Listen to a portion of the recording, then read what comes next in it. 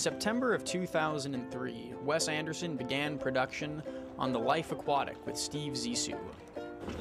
The film stars Bill Murray, Owen Wilson, Cate Blanchett, Willem Dafoe, Anjelica Huston, Jeff Goldblum, Michael Gambon, Bud Cort, Noah Taylor, Seu Jorge, Robyn Cohen, and Waris Ahluwalia. I was cast to play the role of Nico, intern number one. I had met Wes two years earlier while serving as his real life unpaid intern for course credit at NYU Film School. Wes's filmmaking team included longtime collaborators Barry Mendel, his producer, cinematographer Bob Yeoman, assistant director Sam Hoffman, Dan Beers, his personal assistant, and Pawel Wdowczak, who doubled as sound mixer while also playing the part of Team Zissou soundman Renzo Pietro. Also with us for much of the journey was master documentarian filmmaker Albert Maysles. For the film, I moved to Rome for five months, permed my hair three times, visited the emergency room once, learned how to drive a speedboat, and all in all, had the time of my life.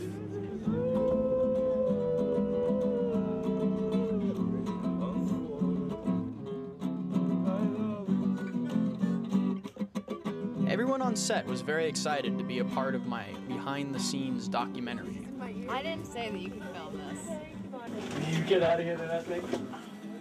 Remember the time I was telling you about the snow? Go away.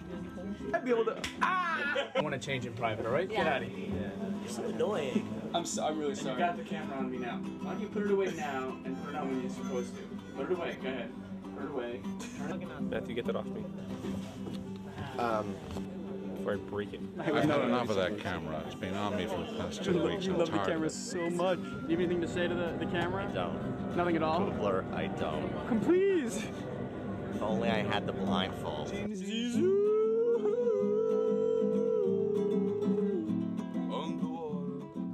Here, Jorge and Noah rehearse what would later become the anthem of Team Zissou, a song the cast sang as a group proudly and incessantly, both on and off set. Much of the movie was filmed on location at sea, so we would start our workday out by riding a speedboat into the middle of the ocean, where we would board a long-range sub-hunter known as the Belafonte.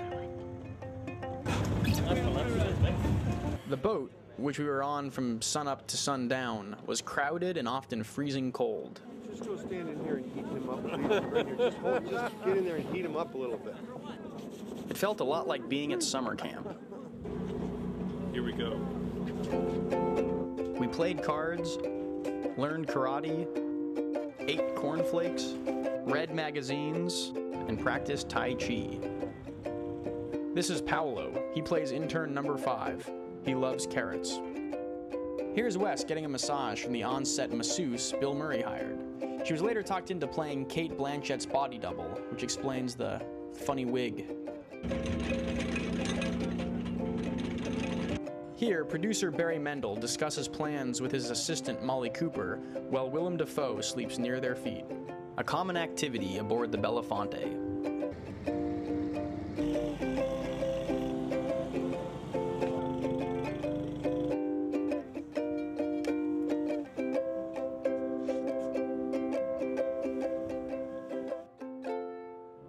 With Bill on deck, we always had plenty of entertainment.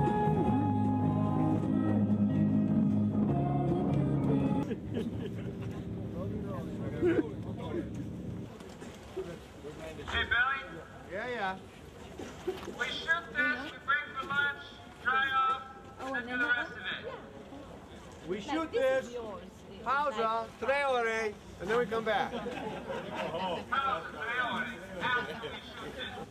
I quickly realized that making movies is 90% waiting around, which gave us all the opportunity to test our skills of agility. No, don't tip.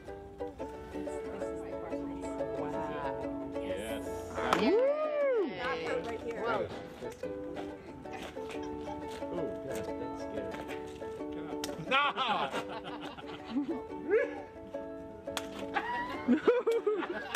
He's fast and he's got a reach. I'm slow.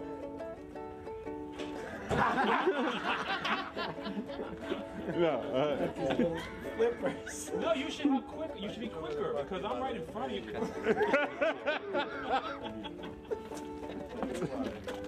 Owen Wilson bought everyone a foosball table to help pass the time at the studio. I asked the real life ship captain about the authenticity of the film. Tell us about pirates. You said you've been attacked by pirates in real life, right? Oh yeah, twice.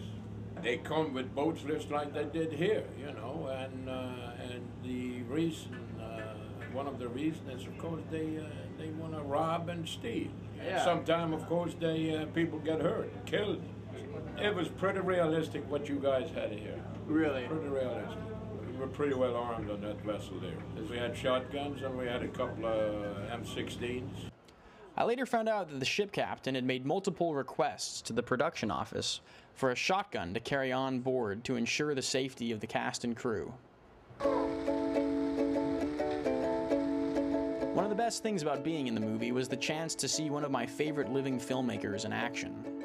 Now, Phil, I think what that thing is, you walk by, you spot it, you you ask, "Is this two cappuccino?" and then you grab it. Or whatever the line is.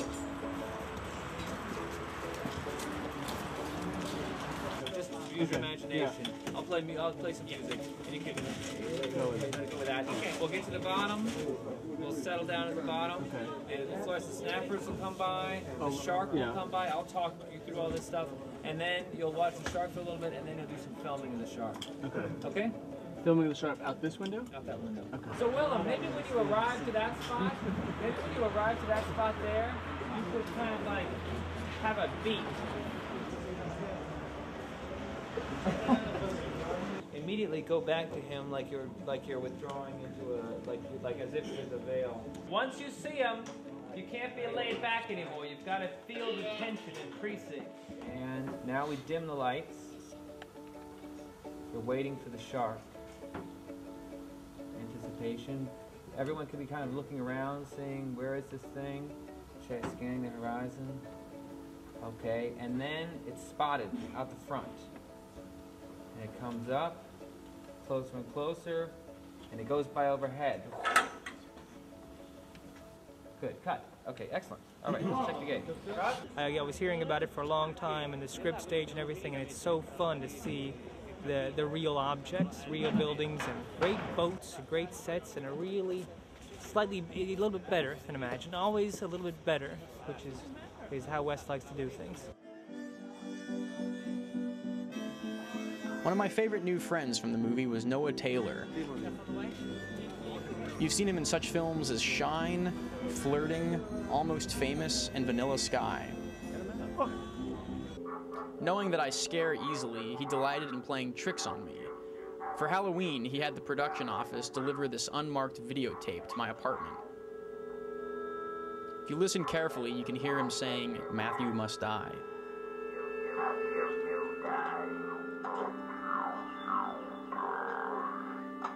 Scary. Another one of my favorite actors was Sir Michael Gambon, who always helped keep the mood light on set with his remarkable dance moves. You've seen him in such films as Sleepy Hollow, Harry Potter, and Gosford Park. Hey, Matthew. Here are the two of them are guarding Cate Blanchett's trailer from Riff Raff.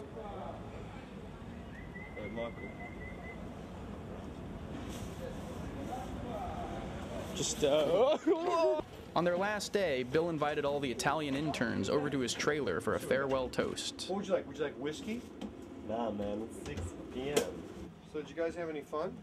Bill, do you have another shot to do tonight? Yeah, I, I'm, I'm going to be drunk for it, though. Don't worry about it. Okay, good. it. All right, boys. All right. Girl.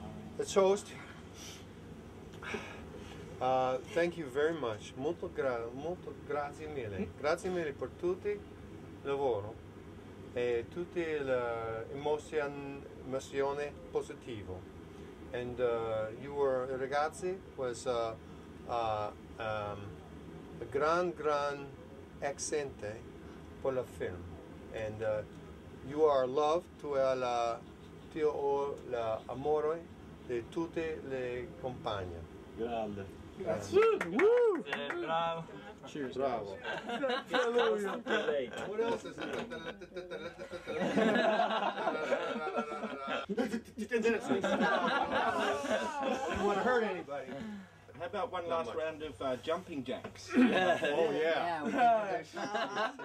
that is fantastic. And you know what's nice is the one where you go down is the one that's in the film. Do you know that? Earlier in the film, I had to be rushed to the emergency room after injuring myself while attempting to do jumping jacks. It was horribly embarrassing, and no one ever let me live it down. It's true. It's the one that's in the film. Yeah. Thank you. Take a couple. Okay, come on, let's keep it, right? Okay, come by and visit. We're going to be here for another few weeks. Come by and visit. Okay. It's my last week. Do you look sad? You'll be sad when it's over. So sad. Cry my contacts out. Most enjoyable part of life, buddy. It's, it's just everything. I hope that Wes, I hope it's a big hit. I like Wes because I want him to give me another job. And I, uh, I'm just creeping. Hello, Wes. If you're watching this move, this videotape on a cheap fucking Leica camera, will you give me another job? What do you want? Nothing from you. One of my fondest memories of the movie was the week we were all locked in the mini submarine. We were crammed together like sardines, but everyone remained in great spirits. At one point, a light exploded inside, and we all thought we were going to be burned alive. So we should have a, a strategy. Out the back. We got out. I think Bill would worry, stand up and then lift it up. Hit it with no. yeah. Luckily, we weren't. Pawel ended up not only acting in the scene, but simultaneously miking it as well. Okay, uh, Olivier, this should work. Do you think you're a better actor than your son? No. I'm Gary Gardner. It's my wife Sue. So my case. I'm just, we're just doing a scene in a mini submarine. And Willem Dafoe, with drawing attention away from other people, he's upstaging. The old crude way of putting it. Willem Dafoe is upstaging a whole fucking scene going on here. And no one seems to be worried about it except for me.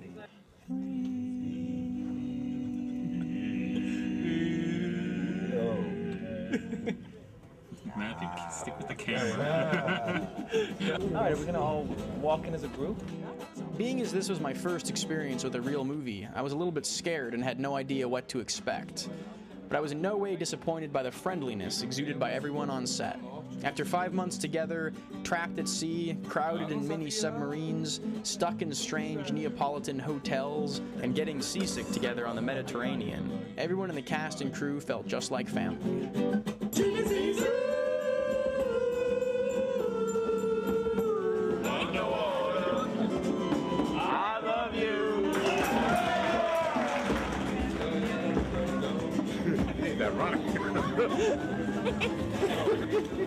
الجاي